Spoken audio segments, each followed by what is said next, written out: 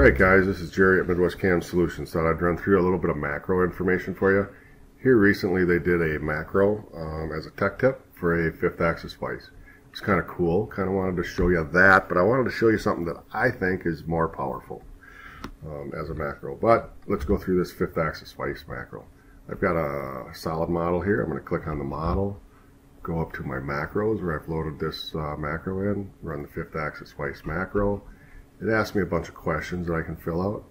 Um, I'm going to put this on a parallel and I'm going to say it's a half inch up and I'm going to say OK and it's going to build the vise around this piece of stock um, and locate it the way I told it to. There we go. If I zoom out, you can see I got a half inch gap there. The parallel's not there, but the gap is. And then we've got, uh, this is all defined as fixture. We can use it for collision detection, simulation, etc. And it'll look great.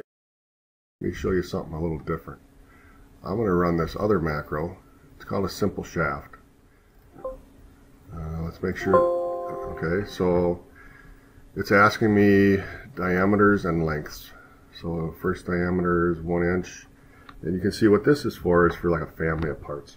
Maybe it's a 750 diameter there. Uh, maybe the second diameter should be an inch 250. Third diameter, we'll leave it at 3 inches. You got L1, L2, L3. We can answer those questions. I'm going to just change this one and we'll leave the others as they are. I hit OK. It builds that thing for me. It shrinks, shrink wraps it for me. Um, it built a couple of tools and it built a couple of tool paths. So it roughed that side and then it roughed that side. That to me is going to make money. Let me show you something else real quick. Hit my home on Zoom. There it is.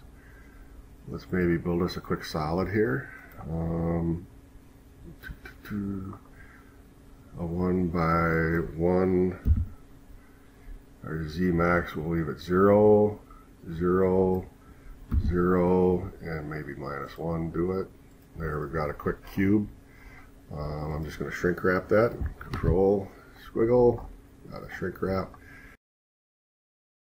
um, one thing I like one macro I like is this point on face macro what if you wanted a point right on the center of this face I know that sounds silly, but if all you're doing is working with solids, you would have to extract geometry, draw some lines, find where they intersect, make a point. Hey, there's where the center of this face is, right?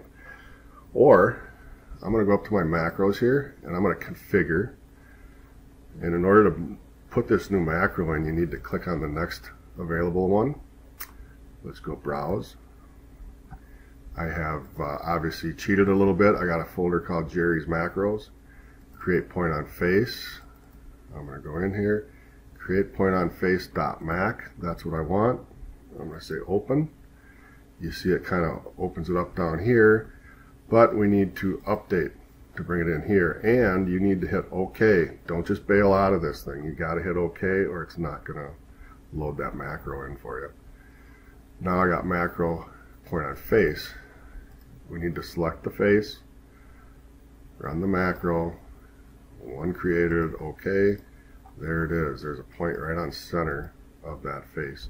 To me, that's a pretty powerful macro. But what I really like is that step shaft.